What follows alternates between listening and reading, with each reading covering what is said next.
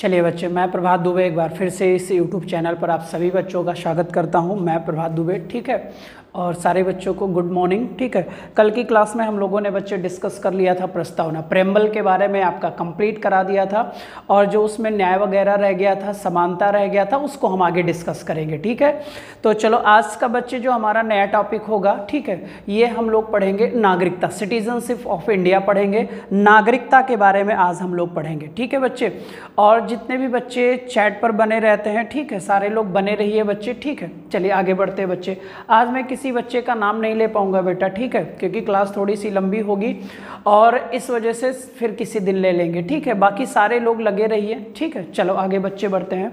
आज का जो हमारा नया टॉपिक होगा इस क्लास में, वो होगा बच्चे नागरिकता, ठीक है? नागरिकता सिटीजनशिप सिटीजनशिप और ये सब सारे बच्चे हमारे जानते हैं कि जो नागरिकता है, हम ये नागरिकता पढ़ेंगे कौन से देश की पढ़ेंगे? नागरिकता भारत की पढ़ेंगे बच्चे। और भारत की जो नागरिकता है, आप सबको पता है सिंगल सिटीजनशिप होता है, यानी एकल नागरिकता का प्रावधान है। आपको भी पता है कि भारत देश में कौन से नागरिकता का प्रावधान है? एकल। बच्चे, वैसे नागरिकता दो प्रकार की होती, एक सिंगल सिटीजनशिप होता है, एक डुअल सिटीजनशिप होता है। क्लियर हो जाएगा? सिंगल सिटीजनशिप्स की अगर बात किया जाए तो सिंगल सिटीजनशिप ब्रिटेन में थे और ब्रिटेन से कहाँ आया? भारत आया। यानी भारत देश में नागरिकता का प्रावधान कहाँ से किया गया? तो आपका रिज़ल्ट होगा सर ब्रिटेन से लिया गया। अमेरिका में कैसी नागरिकता है बच्चे तो आपको पता है डुअल। डुअल नागरिकता में क्या होता है सर? अभी मैं एक डोमेसाइल के बारे में आप पर डिस्कस करेंगे बच्चे। तो अमेरिका में पहले राज्य से परमिशन लेना पड़ता है, फिर राष्ट्र से परमिशन लेना पड़ता है। यानी राज्य की सिटीजनशिप भी वहाँ निवारता है बच्चे, और फिर राष्ट्र की सिटीजनशिप तो वहाँ पर वो डुअल सिटीजनशिप कहलाती है। भारत देश में बच्चे क्या क्या होता है? आप किसी भी राज्य के निवासी हो और भारत के किसी भी राज्य में निवास कर सकते हो बच्चे। तो ये थोड़े से डिफरेंस जो होते हैं, ठीक है? परमानेंट एड्रेस होता है, एक बच्चे नॉन परमानेंट एड्रेस होता है तो इन सब चीज़ों के बारे में हम यहाँ पर क्या करेंगे? डिस्कस करेंगे। तो पहले चीज़ तो जान लो यार की नागरिकता। अब नागरिकता भारत में कैसी है? एकल नागरिकता है। अगला क्वेश्चन होगा सर कि भारत देश में नागरिकता का प्रावधान पार्ट कौन से में है? तो आपका रिज़ल्ट होगा सर पार्ट टू में है, यानी भाग दो में है। फिर बच्चे, आपका तीसरा क्वेश्चन हो जाएगा कि गुरुजी, अनुच्छेद कहाँ से, यानी आर्टिकल कहाँ से शुरू हुआ है? तो आपको पता है सर आर्टिकल पाँच से लेकर कहाँ तक? ग्यारह तक। यानी पाँच से ग्यारह के मध्य किसका प्रावधान किया गया है? नागरिकता का प्रावधान किया गया है। कहाँ? तो भारतीय संविधान में कौन से पार्ट में? तो दो पार्ट में किया गया है। और बच्चे, आर्टिकल कहाँ से कहाँ तक? पाँच से ग्यारह तक है। क्लियर? भारत में नागरिकता डुअल है कि सिंगल है? तो आप बोलोगे एकल नागरिकता है। फिर अगर पूछा जाए कि एकल नागरिकता है तो ये कहाँ से लिया गया है? तो आपका रिज़ल्ट होगा, सर, भारत देश में एकल नागरिकता कहाँ से लिया गया है? ब्रिटेन से लिया गया है। तो भारत देश में नागरिकता कहाँ से लिया गया? ब्रिटेन से लिया गया। तो ब्रिटेन में भी क्या है? एकल है। भारत में भी क्या है? एकल है। भारत देश की कौन से बच्चे? भाग में प्रावधान है। दो, आर्टिकल कहाँ से कहाँ तक है? पाँच से और ग्यारह। अब एक क्वेश्चन बच्चे, क्या बच्चे नागरिकता मूल संविधान का अंग है कि नहीं है? तो आपका रिज़ल्ट होगा यस क्लियर हो जाएगा? यहाँ पर देखिए, काखा गाघा अंगा कुछ भी लगा नहीं है। यानी भारत देश में बच्चे नागरिकता मूल संविधान का हिस्सा था। लेकिन अगर पूछा जाए बच्चे, मौलिक कर्तव्य फंडामेंटल ड्यूटीज़ तो आपका रिज़ल्ट होगा सर फंडामेंटल ड्यूटीज़ भारतीय मूल संविधान का अंग नहीं था। इसे बाद में हमने लिखित रूप से क्या किया? शामिल किया। क्लियर ऐसे ही बच्चे, कल मैंने प्रस्तावना में आपको बताया था, तीन शब्द। समाजवाद पंत निरपेक्ष और अखंडता, ये हमारे मूल संविधान के हिस्से नहीं थे। लेकिन लिखित रूप से हमने बच्चे फोर्टी सेकेंड अमेंडमेंट के तहत 1976 में इसे क्या कर लिया? शामिल कर लिया। तो ये पॉइंट्स याद रखो, भारत देश में एकल नागरिकता है, ब्रिटेन से लिया गया। पार्ट टू में है बच्चे और आर्टिकल पाँच से लेकर कहाँ तक है? ग्यारह तक है बच्चे। अब नागरिक किसे कहते हैं? सबसे बड़ा मैटर आएगा, बच्चे। तो देखो, भारत देश में ऐसे अभी सीरीज़ बनाते जाएँगे बच्चे। अब ये नागरिक, वह व्यक्ति, नागरिक बच्चे डेफिनेशन क्या होती है? वह व्यक्ति, जिसको राज्य में, अब यहाँ पर राज्य का मतलब सरकार है। जैसे बच्चे आर्टिकल 36 में आएगी राज्य की परिभाषा। ठीक है आर्टिकल 12 में आएगा बच्चे राज्य की परिभाषा। तो जो ये राज्य की परिभाषा होती है, सर, इसके बारे में मैं आपको बताऊँगा। जब आर्टिकल डिस्कस करूँगा तो राज्य की परिभाषा जो होती है बच्चे, इसमें हमारी संसद भी होती है, हमारी विधायिका, यानी बच्चे, राज्य का विधानमंडल भी होता है और सारे प्राधिकारी इसमें शामिल होते हैं बच्चे। तो राज्य का मतलब गवर्नमेंट होता है बच्चे। क्लियर हो जाएगा? एक चीज़ याद देखिएगा वह व्यक्ति जिसको राज्य में राज्य में सामाजिक यानी सोशलिस्ट बच्चे, सामाजिक एवं राजनैतिक। सामाजिक एवं राजनैतिक, यानी पॉलिटिकल बोथ अधिकार राइट्स राइट्स प्राप्त होते हैं। प्राप्त होते हैं। उन्हें बच्चे हम क्या कहते हैं? नागरिक कहते हैं। क्या कहते हैं बेटा? नागरिक कहते हैं। ये डेफिनेशन याद रखना नागरिक की बच्चे। लिखा हुआ मैंने, वह व्यक्ति जिसको राज्य में पूरी की पूरी सोशल बच्चे, यानी सामाजिक और प्लस राजनैतिक दोनों बोथ राइट्स प्राप्त हो बच्चे, ऐसे व्यक्ति को हम क्या कहते हैं? नागरिक कहते हैं। तो नागरिक कहाँ का निवासी हो गया? राज्य का बच्चे, अब दो प्रकार से होगा निवासी। एक अस्थाई और एक अस्थाई फॉर एग्ज़ाम्पल मैं यूपी का हूँ बच्चे, और अभी हमारी जो डोमेसाइल है बेसिक डोमेसाइल है बच्चे क्लियर हो जाएगा? एक डोमेसाइल बेसिक होगी, मूल बच्चे अधिवास होगा, और एक बच्चे क्या होगा? अर्जित अधिवास होगा। तो अर्जित अधिवास और अधिवास के बारे में मैं आपको बताऊँगा। मूल डोमेसाइल जहाँ पर हमारा जन्म हुआ हो जहाँ पर हमारे माता पिता रहते हो, सर, ये हमारा बेसिक अधिवास है या बेसिक डोमेसाइल है। फिर बच्चे, मैं क्या करूँ? यूपी से चला जाऊँ दिल्ली में। और दिल्ली में, सर, मैं काम करूँ, रेजिडेंस मेरा दिल्ली हो गया, लेकिन अभी, सर, दिल्ली में मैं काम कर रहा हूँ तो वहाँ पर रेजिडेंस है, लेकिन हमारा बेसिक डोमेसाइल यूपी का है, बट रह, वर्तमान में रह कहा रहा हूँ? दिल्ली में रह रहा हूँ, लेकिन मैंने दिल्ली में क्या कर लिया, सर, लैंड परचेज कर लिया। अब वहाँ का मैं क्या हो गया? अस्थाई निवासी हो गया, सर। क्लियर हो जाएगा? तो एक तो बच्चे परमानेंट था जो हमारा मूल हो गया और एक गैर परमानेंट था जिसको मैंने परमानेंट में बदलना बच्चे। क्लियर तो अभी ये डिस्कस कर लेंगे। तो अभी छोड़ो, हटाओ यहाँ पर। तो यहाँ पर नागरिक वह होता है बच्चे, वह व्यक्ति होता है जिसको भारत राज्य के सभी सामाजिक और राजनैतिक दोनों अधिकार क्या हो? प्राप्त हो? ऐसे व्यक्ति को हम क्या कहते हैं? नागरिक कहते हैं बच्चे। क्लियर हो जाएगा? लिख लीजिएगा। कहीं उतार दीजिएगा डेफिनेशन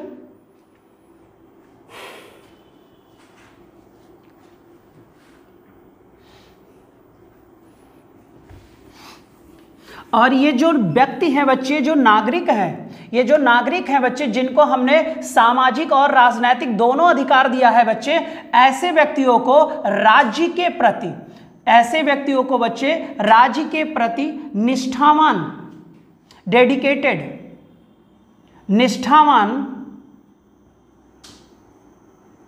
होना चाहिए। या निष्ठावान होंगे। जिन्हें सोशल, बच्चे और पॉलिटिकल दोनों राइट्स प्राप्त हैं। या यही कर लो बच्चे, निष्ठावान होना चाहिए। कभी कभी बच्चे क्या होता है, कुछ लोग विरोध कर जाते हैं, सर देश में ही रहकर देश के साथ गद्दारी कर जाते बच्चे। तो ऐसे लोगों की भारत देश में नागरिकता के अंत का भी प्रावधान किया गया है। तो यहाँ पर ऐसे लिख लो बच्चे, राज्य के प्रति उस व्यक्ति को निष्ठावान होना चाहिए, उस व्यक्ति को या उस नागरिक को बच्चे, जिसको हमने अपनी नागरिकता बच्चे एक्ट के तहत सामाजिक और राजनैतिक बोथ अधिकार हमने दे रखा है बेटा। ठीक है? नोट कर लेंगे जल्दी से।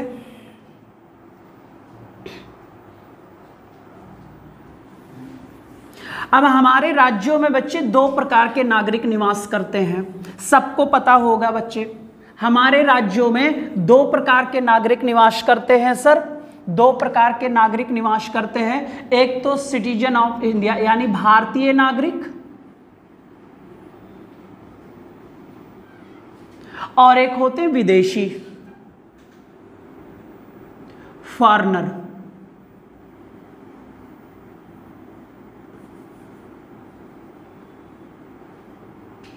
एक होते फॉरनर एक होते सिटीजन ऑफ़ इंडिया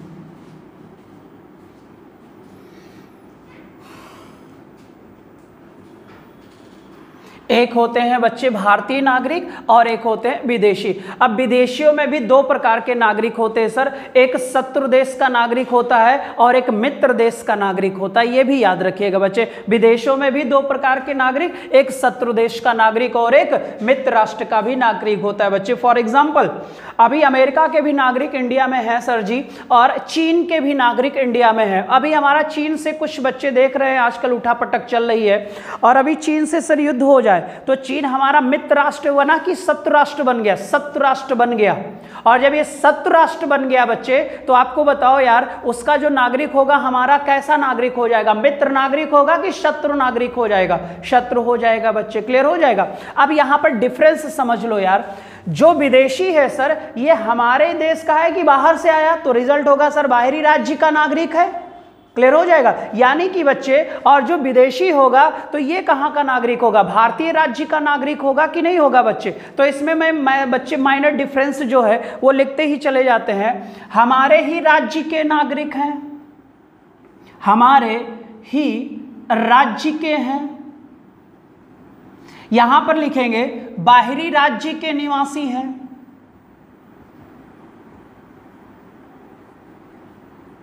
पहला डिफरेंस हुआ, ये हमारे ही राज्य के हैं और दूसरा पॉइंट हुआ बच्चे, बाहरी राज्य के हैं। क्लियर हो जाएगा? अब ये जो हमारे भारतीय लोग हैं सर ये अपने राज्य के प्रति निष्ठावान होंगे।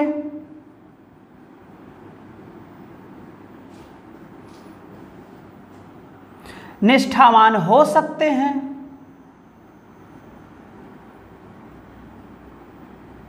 निष्ठावान हो सकते हैं बच्चे। ये निष्ठावान होंगे और वो निष्ठावान हो सकते हैं बच्चे। क्लियर हो जाएगा? अब जो हमारे भारतीय नागरिक हैं बच्चे, अब इनको हम दो अधिकार देते हैं बच्चे, सामाजिक प्लस राजनैतिक। दोनों अधिकार। दोनों अधिकार प्राप्त हैं इनको बच्चे। ठीक है? किसको? भारतीय नागरिक को। लेकिन बच्चे, क्या यहाँ पर हम विदेशियों को भी राजनैतिक अधिकार दे दें? नहीं दे सकते। भारत देश में राजनैतिक अधिकार का मतलब है चुनाव लड़ने का अधिकार, वोट देने का अधिकार। तो क्या विदेशियों को बच्चे वोट देने का अधिकार है? तो आपका रिज़ल्ट होगा, सर, विदेशियों को वोट देने का अधिकार नहीं है। तो फिर इनको कौन सा अधिकार दिया गया? तो आप लिख सकते हो, सरकार द्वारा इनको सामाजिक अधिकार सामाजिक अधिकार प्रदान किया गया है।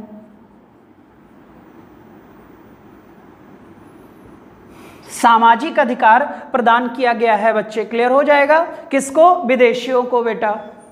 सोशल राइट्स प्राप्त है इनको। सोशल राइट्स ही प्राप्त है फॉरनर को। लेकिन भारतीयों को बच्चे social plus political both rights प्राप्त है भारतीय नागरिक। मत देने का भी अधिकार है इनको। चुनाव लड़ने का भी अधिकार है। बस बच्चे मुकदमे उकदमे ना हो या मानसिक रूप से विक्षिप्त ना हो, यानी पागल ना हो, दिवालिया ना निकला हो, बस। क्लियर इनको बच्चे हमने सिर्फ़ सोशलस राइट्स दिया, यानी कि सामाजिक अधिकार दिया बच्चे। अब ध्यान से देखो, नागरिक दो प्रकार के राज्य में निवासी करते हैं, कुछ विदेशी होते हैं और बच्चे सारे क्या होते हैं, भारतीय होते हैं। हमारे ही राज्य के लोग होते हैं जिन्हें हम इंडियन सिटीजनशिप या सिटीजनशिप ऑफ़ इंडिया कहते हैं। ये बच्चे अपने राज्य के प्रति, अपने कॉन्स्टिट्यूशन के प्रति क्या होते हैं, निष्ठावान होते हैं। ये बच्चे बाहरी राज्य के हैं और आपको पता इंडियन गवर्नमेंट की परमिशन से हमारे देश में बच्चे कुछ दिनों के लिए वास करते हैं। उसके बाद रिटर्न ही अपने राज्य लौट जाते हैं। हमने अपने भारतीयों को सामाजिक, क्योंकि हमारे नागरिक हैं ये, सामाजिक और राजनैतिक बोध अधिकार दे रखा है। लेकिन यहाँ पर हमको हमने इनको सिर्फ़ क्या दिया? सोशलिस्ट राइट ही दिया बच्चे। कोई भी पोलिटिकल राइट विदेशियों को या फॉरनर को प्राप्त नहीं है। नोट करिए बच्चे। और यहाँ तक बताइए, चीज़ें समझ में आई? मैंने पहले पहले सुन लेना, फिर नोट करना, पहले सुन लेना। नागरिक उस व्यक्ति को कहते हैं जो राज्य का निवासी है और प्लस सामाजिक और राजनैतिक दोनों अधिकार प्राप्त है। क्लियर एकल नागरिकता है क्लियर हो जाएगा। ब्रिटेन से लिया गया है पार्ट टू में है आर्टिकल फाइव से लेकर ग्यारह तक है। ठीक है? पक्का है? विद फॉरनर भी कितने टाइप के होते हैं? दो, एक मित्र और एक शत्रु। क्लियर और बच्चे, दोनों का थोड़ा सा डिफरेंस बता, एक डिफरेंस आगे आगे ही बताएँगे बच्चे क्लियर भारत एक सुन लो, यहाँ पर आगे लिखा देंगे। भारतीय नागरिक को बच्चे, सेना में शामिल होने के लिए बाध्य किया जा सकता है। भारतीय नागरिक को सेना में शामिल होने के लिए बाध्य किया जा सकता है, लेकिन बच्चे, उससे पहले हमारी फंडामेंटल ड्यूटीज़ भी है। क्लियर हो जाएगा, सेना के आवाहन के करने पर हमें उसमें शामिल होना चाहिए, और अगर भारतीय सरकार को सेना की ज़रूरत है, और आप बच्चे अपनी स्वेच्छा से शामिल नहीं हो रहे हो तो सरकार कानून बनाकर आपको बाध्य भी कर सकती है। क्लियर फिर बच्चे है, यहाँ पर बच्चे इनको बाध्य नहीं किया जा सकता। विदेशियों को बाध्य नहीं किया जा सकता बच्चे क्लियर आगे डिफरेंस बताएँगे। बोलो, इतनी बात समझ में आई? इंपॉर्टेंट टॉपिक होगा।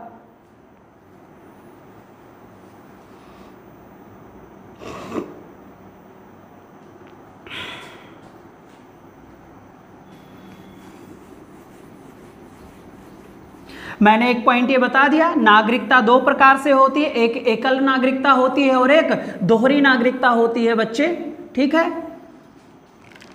नागरिकता कितने प्रकार से, दो प्रकार की होती है एक बच्चे, एकल नागरिकता होती है सिंगल सिटीजनशिप होता है, और एक दोहरी नागरिकता होती है डुअल सिटीजनशिप होता है। और डुअल सिटीजनशिप में अमेरिका, एकल में बच्चे था ब्रिटेन, और ब्रिटेन से ही चलकर ये कहाँ पहुँचा? तो आपका रिज़ल्ट सर हो जाएगा, भारत आया। तो भारत में भी एकल नागरिकता और ब्रिटेन भी। नागरिकता कितने प्रकार की? पाँच, दो प्रकार की सर भारत में नागरिकता कितने प्रकार से प्राप्त की जा सकती है, तब वहाँ पर आपका रिज़ल्ट होगा। सिर्फ़ पाँच प्रकार से भारत में नागरिकता ली जा सकती है। ऐसे अगर कोई पूछे कि नागरिकता कितने प्रकार की होती है तो आप बोलोगे दो। ठीक है? और स्विट्जरलैंड में जो तेहरी नागरिकता बच्चे देखी जाती थी, वो लगभग खत्म हो चुकी है। तो स्विट्जरलैंड में भी कौन सी नागरिकता हो जाएगी बच्चे? दोहरी नागरिकता हो जाएगी। क्लियर हो जाएगा? वहीं पर देखा जाता था बच्चे क्या कहते हैं? तेहरी नागरिकता। ठीक है? तो नागरिकता कितने प्रकार से? दो। दो में बच्चे, एक एकल नागरिकता और एक दोहरी नागरिकता। क्लियर हो जाएगा बच्चे? अब देखिए सर, हमने अभी कहा कि जो भारतीय सिटीजन होते हैं, इनको पॉलिटिकल अधिकार मिल जाता है। कौन सा अधिकार बेटा? पॉलिटिकल अधिकार। ये थोड़ा सा जाना। हमारे यहाँ बच्चे, भारतीय नागरिक को, जो भी भारतीय नागरिक होते हैं सर जी जो भी भारतीय नागरिक होते हैं, हम इनको बच्चे कौन सा अधिकार देते हैं? राजनैतिक राइट्स देते हैं। क्लियर हो जाएगा? अब ये जो राजनैतिक राइट्स होता है बच्चे, ये वयस्क को दिया जाता है एडल्ट को दिया जाता है। किसको दिया जाता है? वयस्क को दिया जाता है। बच्चे, ये बात याद रखिएगा। क्योंकि वयस्क जो होता है बच्चे, ये कितने वर्ष पर होता है? 18 वर्ष पर होता है और 18 वर्ष पर इसे हम ओट देने का अधिकार दे देते हैं बच्चे। ओट देने का अधिकार। Right to vote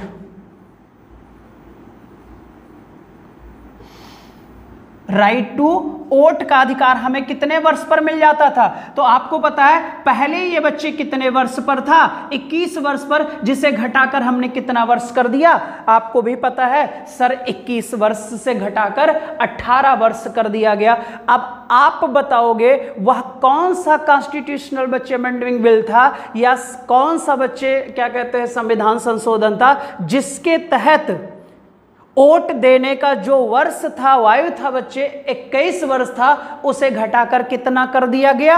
18 कर दिया गया। और 18 वर्ष के लोगों को भारत में, भारत का नागरिकता चैप्टर ये कहता है, इसको मैं पॉलिटिकल राइट्स दे रहा हूँ, जो भारत के बच्चे क्या हो गए? वयस्क हो जाएँगे, ठीक है? और इसी में सर 18 वर्ष से जब आप ऊपर बढ़ोगे तो आपका आएगा कितना वर्ष?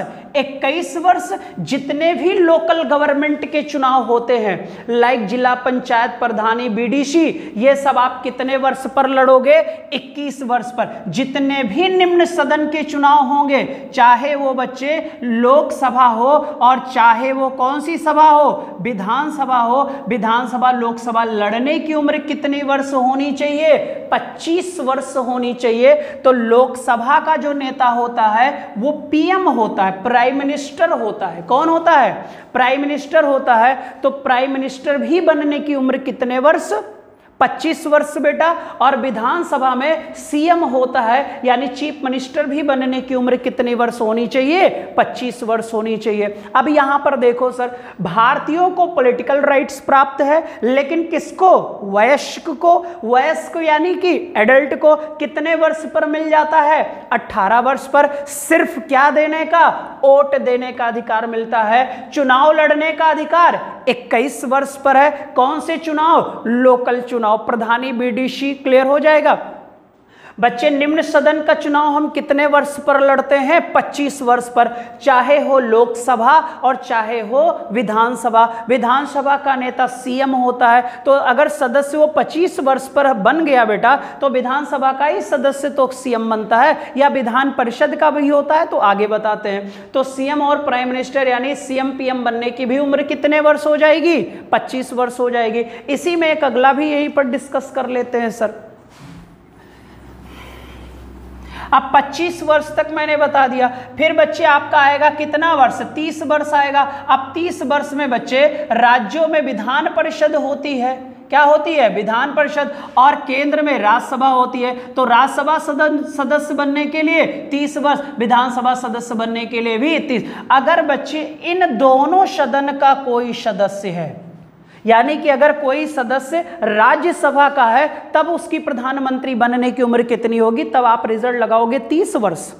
और अगर ऐसे पूछ लेगा तो आप लगाओगे कितना वर्ष? 25 वर्ष। ये एसआई में आया हुआ लास्ट टाइम क्वेश्चन था बच्चे कि अगर कोई व्यक्ति राज्यसभा का सदस्य हो तो प्रधानमंत्री बनने की उम्र कितनी होगी? तो आपका रिज़ल्ट आएगा कितना सर 30 इयर्स क्लियर और अगर कोई सदस्य लोकसभा का है, तब उसको बच्चे प्राइम मिनिस्टर बनने की उम्र कितनी होगी? तो आप लगाओगे सर 25 फाइव ईयर्स क्लियर अगर कोई राज्य में विधान परिषद का सदस्य है तो सीएम बनने की उम्र कितनी होगी? तीस वर्ष हो जाएगी। लेकिन अगर कोई विधानसभा का सदस्य है तो बच्चे मुख्यमंत्री बनने की उम्र कितनी हो जाएगी? पच्चीस वर्ष हो जाएगी। बताओ, इतनी बात समझ में आई कि नहीं आई? जल्दी बोलो।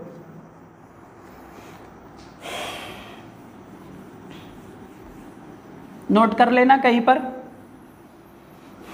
इतनी बात बताओ, समझ में आई कि नहीं आई? अब इसमें एक लास्ट और बच रहा है। पैंतीस वर्ष कितने वर्ष बेटा? अब 35 वर्ष पे बच्चे, हम राष्ट्रपति का चुनाव लड़ते हैं। कितने वर्ष पर? 35 वर्ष पर और बच्चे उपराष्ट्रपति का चुनाव लड़ते हैं।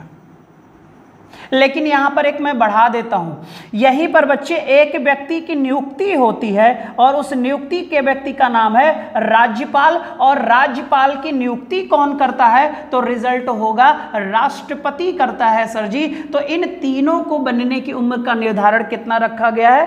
पैंतीस वर्ष रखा गया है। कितना वर्ष रखा गया है? पैंतीस वर्ष रखा गया है। अब इसे नोट कर लो सर। अट्ठारह वर्ष, इक्कीस वर्ष 25 वर्ष तीस वर्ष और पैंतीस वर्ष मैंने बता दिया। ये सारे हमारे पॉलिटिकल राइट्स होते हैं बेटा, ठीक है? पहली बार पॉलिटिकल राइट्स हमें कितने वर्ष की अवस्था पर मिल जाता है? तो आपका रिज़ल्ट होगा सर 18 वर्ष की अवस्था पर। किसका अधिकार? तो आप बोलोगे सर राइट टू वोट का अधिकार हमको मिल जाता है। अब इतनी बात बताओ, समझ में आई कि नहीं आई? जल्दी।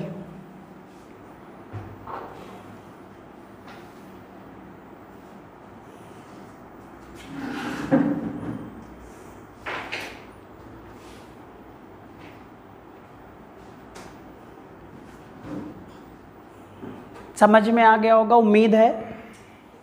चलो आगे बढ़ते हैं, सर।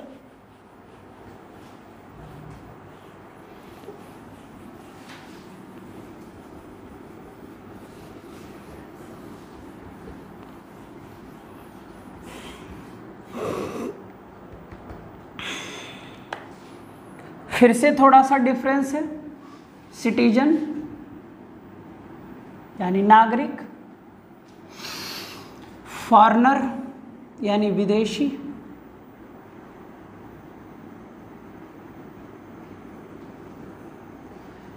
अस्थाई निवासी होता है। अस्थाई होता है। कुछ दिन के लिए होता है, सर। नोट कर लो जल्दी से।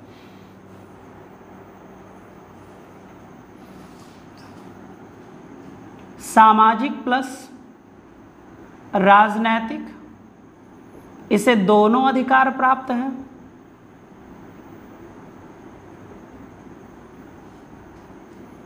इसे सिर्फ़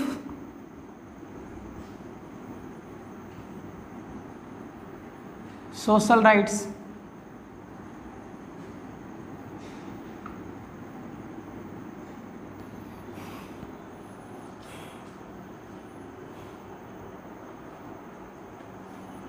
तीसरा पॉइंट सेना में भर्ती होने के लिए, होने के लिए वाध्य किया जा सकता है। वाध्य किया जा सकता है। यहाँ लिख देना वाध्य नहीं किया जा सकता। नहीं किया जा सकता। जल्दी उतारिए।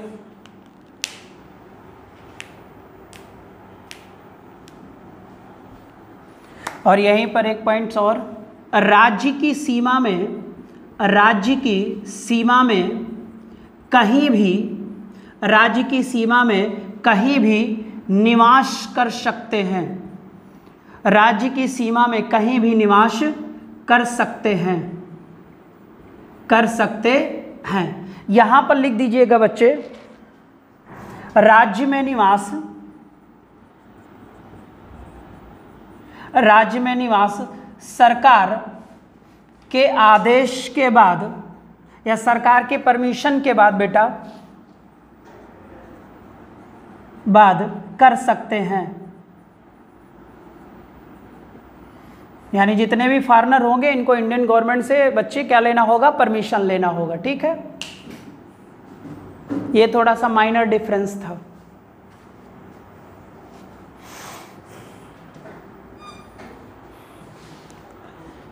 नोट करो।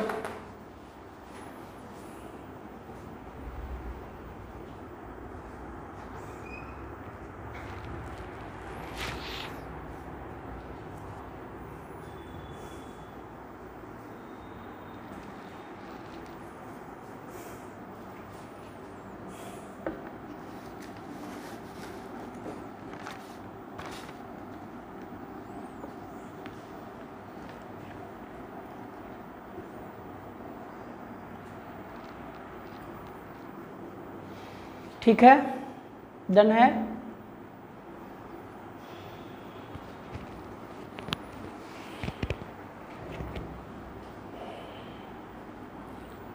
चलो। इतनी बात बच्चे शुरू से अंत तक मैंने बताई। बताओ, समझ में आई कि नहीं आई? जल्दी बताएँगे सारे बच्चे।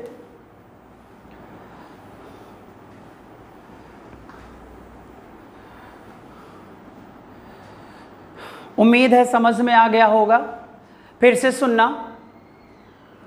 फिर से सुनना दो मिनट, पूरा रिवीजन कर दे, फिर आगे बताते थोड़ा सा। डोमेसाइल के बारे में बात करेंगे बच्चे, है ना? और इसी में बच्चे आप लोग देखते रहते हो, सर एनआरआई वगैरह के बारे में सुना होगा नॉन रेजिडेंशियल इंडियन वगैरह। तो ये भी इसी में सब आ जाएगा, सब क्लियर कर देंगे कन्फ्यूज़न मत रखें बच्चे, कोई भी चीज़ नहीं छूटेगी। चलो ध्यान से सुनो। पहला क्वेश्चन है, भारत देश में एकल नागरिकता की दोहरी। तो रिज़ल्ट तुरंत होगा सर एकल कहाँ से लिया गया? ब्रिटेन से लिया गया। कौन से भाग में है? ये टेट में आया हुआ क्वेश्चन था। भाग दो में है क्लियर हो जाएगा। फिर दूसरा है बच्चे कि ये आ, क्या कहते हैं भारत न, क्या कहते हैं नागरिकता कितने प्रकार की होती है बच्चे? दो प्रकार के नागरिक होते हैं एक देशी एक विदेशी। देशी वो नागरिक होते हैं जो राज्य के निवासी होते हैं विदेशी वो जो बाहरी राज्य से आए होते हैं बाहरी राज्य के निवासी होते हैं। क्लियर हो जाएगा। भारत देश में विदेशी भी दो प्रकार के के बच्चे या किसी भी देश में विदेशी भी दो प्रकार के होते हैं। एक मित्र देश के नागरिक और एक शत्रु देश के नागरिक होते हैं। क्लियर?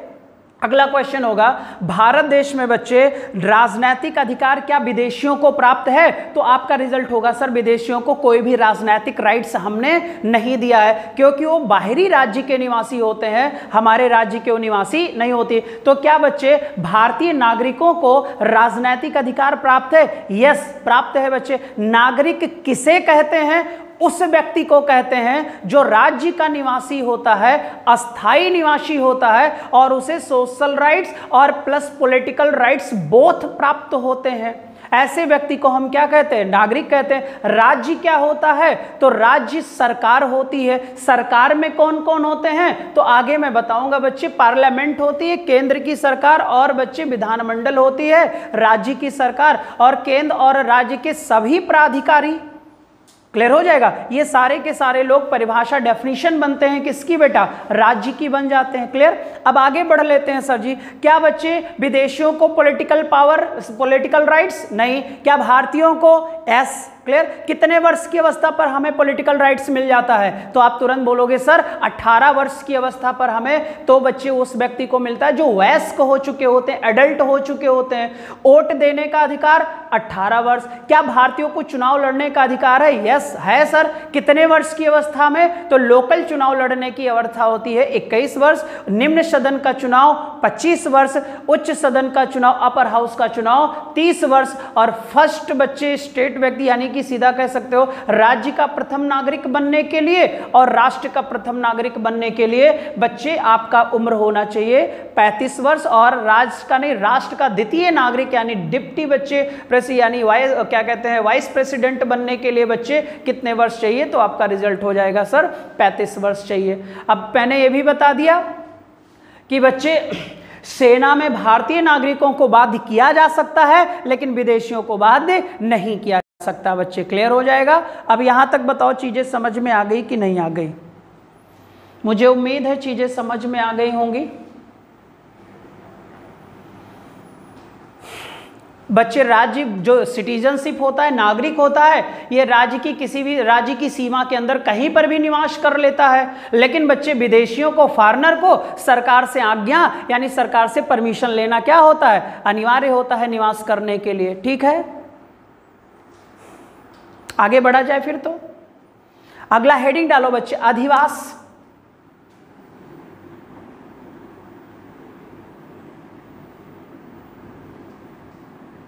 डोमेसाइल अधिवास डोमेसाइल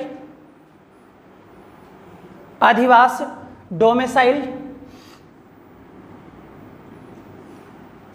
अधिवास डोमेसाइल डोमेसाइल है ना बच्चे? इसे परमानेंट हाउस भी कह सकते हो।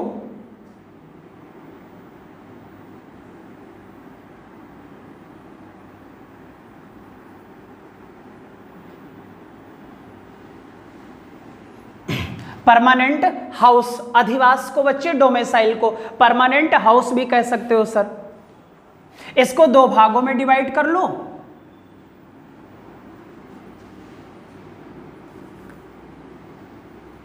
बेसिक डोमेसाइल जो होती है, उसे मूल अधिवास कहते हैं। एक हम अर्जित करते हैं बच्चे।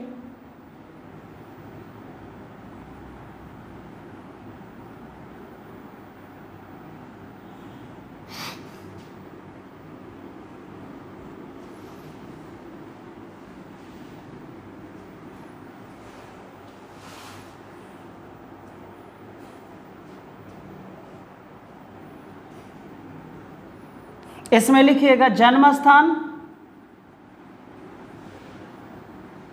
बर्थ प्लेस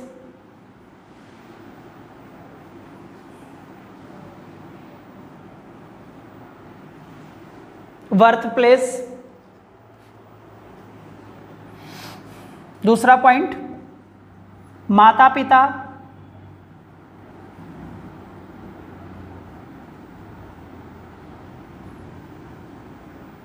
निवास करते हैं।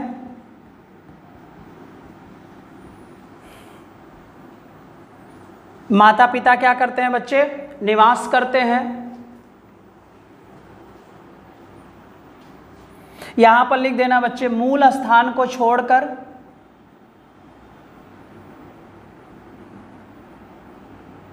अन्य राज्य में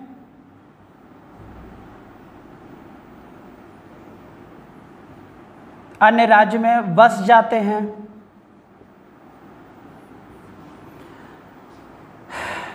अन्य राज्य में बस जाते हैं या किसी अन्य राज्य में चले जाते हैं।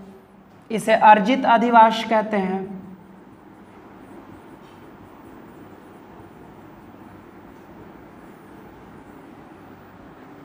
और इसे बच्चे मूल अधिवास कहते हैं।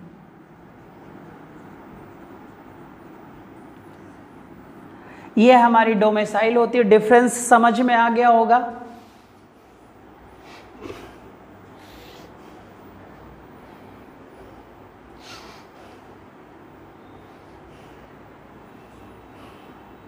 समझ में आया? समझो। मैंने कहा, अधिवास परमानेंट हाउस दो प्रकार से होता है बच्चे परमानेंट हाउस ठीक है? अभी बच्चे, हमारा बाय बर्थ मान लो यहाँ पर है। जहाँ मैं पढ़ा रहा हूँ, यहीं का मैं निवासी हो। तो राज्य हो गया, कोई ना कोई राज्य होगा, और नेशन तो एक ही होता है, आप सभी को पता है। और हम किसी भी राज्य की सीमा के अंदर निवास कर सकते हैं, बच्चे। अब फॉर एग्ज़ाम्पल लेते हैं, बच्चे। अभी मान लो मैं दिल्ली में हूँ, बच्चे, और मैं दिल्ली का परमानेंट निवासी हूँ तो मेरा जो डोमेसाइल बनेगा, वो कहाँ का होगा? दिल्ली का होगा, क्योंकि दिल्ली जो है, वो हमारा क्या है? बर्थ प्लेस है, बेटा जन्म स्थान है। और हमारे बच्चे बर्थ प्लेस पर ही हमारे माता पिता क्या करते हैं? निवास करते हैं। तो इसे बेसिक डोमिसाइल बोलेंगे, यानी कि मूल अधिवास बोलेंगे। अभी तक मैं मूल अधिवासी था कहाँ का? दिल्ली। अब मैं दिल्ली में ही रह जाऊँ। तो बच्चे, कोई बात नहीं, मेरा जो बेसिक डोमिसाइल होगा, वही हमारा परमानेंट एड्रेस रहेगा। बहुत रहेगा बच्चे क्लियर हो जाए? रेजिडेंस भी रहेगा। लेकिन अभी मैं दिल्ली से उठूं बच्चे और तमिलनाडु चला जाऊँ। अब तमिलनाडु गया, मान लो वर्क करने गया, कोई कार्य करने गया, और वहाँ पर मैं बच्चे रूम लेकर रहने लगा। अब जब रूम लेकर रहने लगा तो क्या वहाँ पर मेरा परमानेंट हाउस हो गया? नहीं सर हमारा परमानेंट हाउस वहाँ पर नहीं हुआ है, लेकिन बच्चे, एक अस्थाई निवास स्थान हमने बना लिया। एक अस्थाई निवास स्थान हमने बनाया। अब मैं बोलूँ अस्थाई निवास तो मैं दिल्ली बोलूँगा, और गैर बच्चे अस्थाई निवास या अस्थाई निवास तो हम बोलेंगे कहाँ? तमिलनाडु। तमिलनाडु में ही सर क्या हुआ? अभी तक मेरा बर्थ प्लेस दिल्ली है। क्लियर मूल डोमिसाइल जो हमारा है, वो दिल्ली ही है। लेकिन अभी तक मैं यहाँ पर बच्चे अस्थाई निवासी था। फिर हमने क्या किया? तमिलनाडु में लैंड को अर्जित कर लिया बच्चे। अब जब मैंने अर्जित किया भूमि को तो वहाँ का जो बच्चे मैं अब डोमिसाइल लूँगा, वो हमारा अर्जित डोमिसाइल होगा। क्लियर हो जाएगा? तो अगर उसमें पूछा जाए तो अब डोमेशाइल दिल्ली का भी है। यानी कि मूल वैसे बच्चे हमारा जो बेसिक डोमेशाइल है, वो दिल्ली का है, और बच्चे अर्जित डोमेसाइल जो होगी, वो हमारी कहाँ की हो जाएगी? तमिलनाडु की हो जाएगी बच्चे। यानी मूल स्थान को छोड़कर अन्य राज्य में जाकर बस जाना या अन्य राज्य में चले जाना, यही हमारा क्या कहलाता है?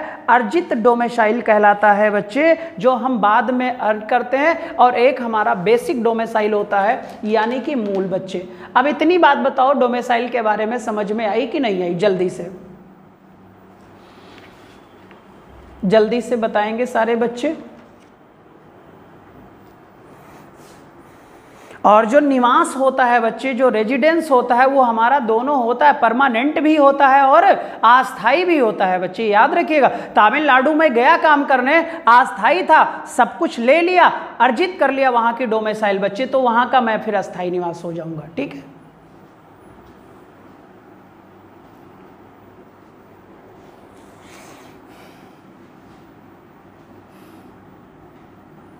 उम्मीद है इतनी बातें समझ में आ गई होंगी।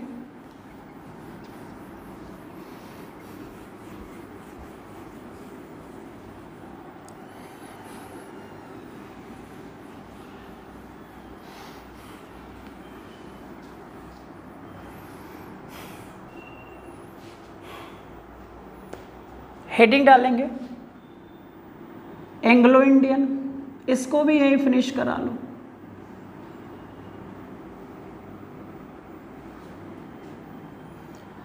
मैंने प्रीवियस वीडियो में कहा था कि बच्चे इस बार जो संविधान का संशोधन हुआ है जनवरी फरवरी में, अब एंग्लो इंडियन की संख्या लोकसभा में क्या कर दी गई है? खत्म कर दी गई 2030 तक। कितने तक बेटा? 2030 तक, यानी अगले 10 वर्ष तक अब लोकसभा में कोई भी एंग्लो इंडियन सदस्य नहीं होगा।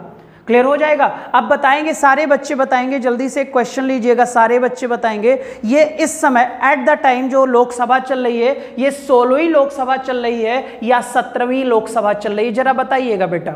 सोलहवीं लोकसभा चल रही है या सत्रहवीं लोकसभा चल रही है, ये आप तुरंत बताएँगे। जल्दी से बताइए, फिर हम एंग्लो इंडियन के बारे में बात करें बच्चे। सोलहवीं चल रही है या सत्रहवीं चल रही है एट द टाइम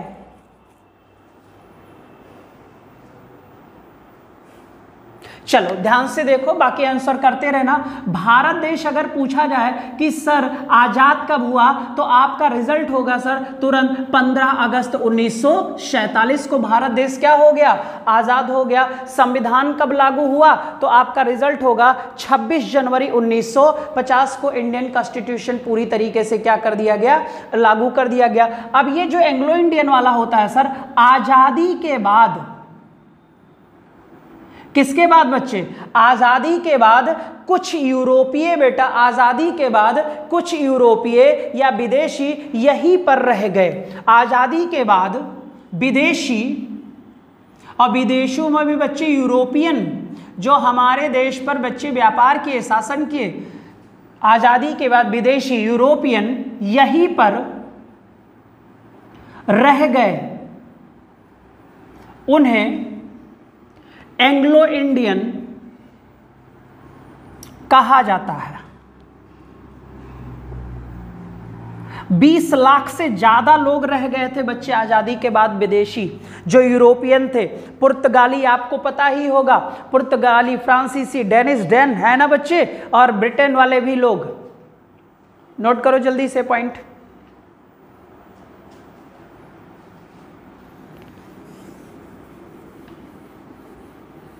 अगर पूछा जाए, क्या सर, पूछा जाए बच्चे, क्या सर भारतीय संविधान में, क्या सर भारतीय संविधान में एंग्लो इंडियन की परिभाषा दी गई है? तो अगर बच्चे भारतीय संविधान की बात कर देंगे तो वैधानिक होगा कि गैर वैधानिक तो वैधानिक हो जाएगा। तो पक्का है बच्चे, एक आर्टिकल बनाया गया है, three double six, three double six के बच्चे पैरा सेकंड में। यानी सब क्लॉज सेकंड में बच्चे एंग्लो इंडियन की परिभाषा दी गई है, उसे भी मैं लिख देता हूँ। अभी तक मैंने कहा कि एंग्लो इंडियन वो जो 15 अगस्त उन्नीस आज़ादी के बाद से कुछ विदेशी जिसमें यूरोपियन रह गए, वही क्या कहलाए? एंग्लो इंडियन कहलाए। फिर इन्हें हम बच्चे संवैधानिक प्रावधान भी इनके लिए हम करेंगे। तो अगला क्वेश्चन बच्चे लिखिएगा, सारे बच्चे लिखिएगा। अनुच्छेद थ्री डबल सिक्स का सब क्लॉज सेकंड। अनुच्छेद थ्री डबल सिक्स का सब क्लॉज सेकंड में बच्चे एंग्लो इंडियन की डेफिनेशन दी गई है। यानी एंग्लो इंडियन की क्या दी गई है? परिभाषा दी गई है। डेफिनेशन दी गई है। एंग्लो इंडियन की क्या दी गई है बच्चे? परिभाषा दी गई है। लिख देना परिभाषा। वह व्यक्ति जो लिखिएगा बच्चे, वह व्यक्ति जो भारत का अधिवासी है, वह व्यक्ति जो भारत का अधिवासी है, लेकिन उनके पूर्वज, उनके, लेकिन उनके पूर्वज यूरोपियन संघ उनके पूर्वज, यूरोपियन संघ या ब्रिटेन के निवासी। यूरोपियन संघ या ब्रिटेन के निवासी या ब्रिटेन के नागरिक नागरिक थे। ऐसे व्यक्तियों को हम एंग्लो इंडियन कहते हैं, ऐसे व्यक्तियों को हम एंग्लो इंडियन कहते हैं, और ये हुआ 15 अगस्त उन्नीस के बाद।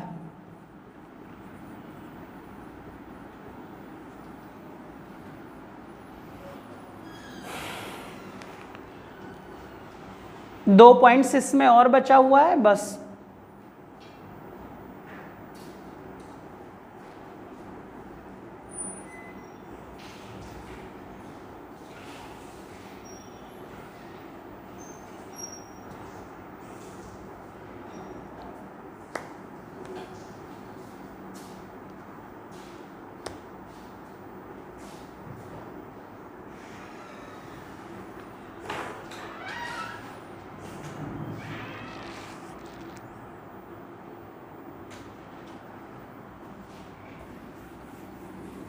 तो अनुच्छेद थ्री डबल सिक्स के सब क्लॉज सेकंड में एंग्लो इंडियन की क्या दी गई है? परिभाषा दी गई है। हमने कहा, बच्चे, एंग्लो इंडियन की संख्या भारत में क्या थी? ज़्यादा थी बच्चे। इनकी बच्चे संख्या 20 लाख प्लस थी आज़ादी के बाद। तो हमने सर क्या किया?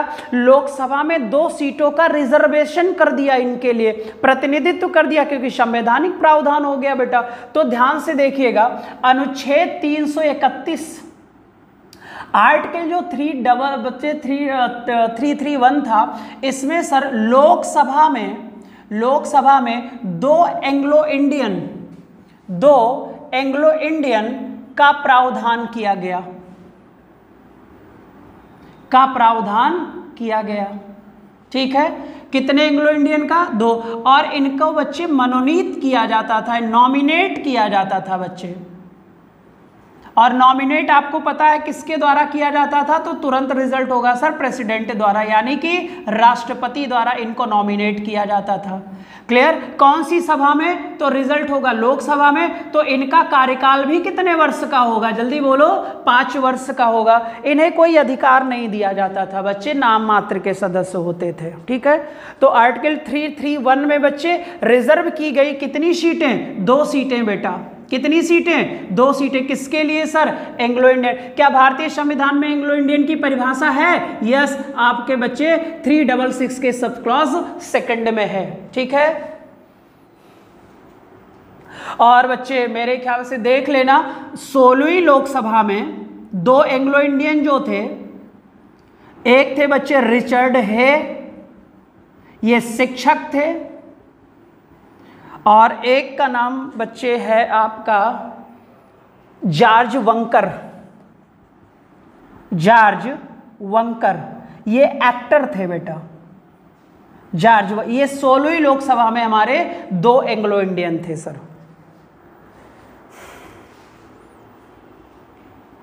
और आपको पता है, सर, अब नए सत्र में इनका कार्यकाल जब पूरा हो गया तो इस बार हमने प्रावधान खत्म कर दिया। मैंने कहा था, अब बच्चे यूरोपियों की संख्या सिर्फ़ दो, ढाई लाख बची हुई इंडिया में। तो अब इनको प्रतिनिधित्व देने की ज़रूरत नहीं है। तो अगले दस वर्ष के लिए इस बच्चे लोकसभा में रिजर्वेशन जो दो सीटों का होता था, इसे दस वर्ष के लिए समाप्त कर दिया गया। ठीक है? और विधानसभा में article three three three.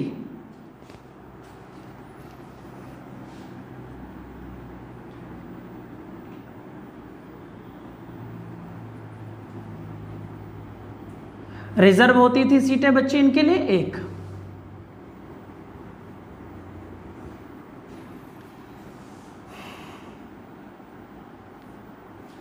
Anglo Indian भी खत्म हो बच्चे।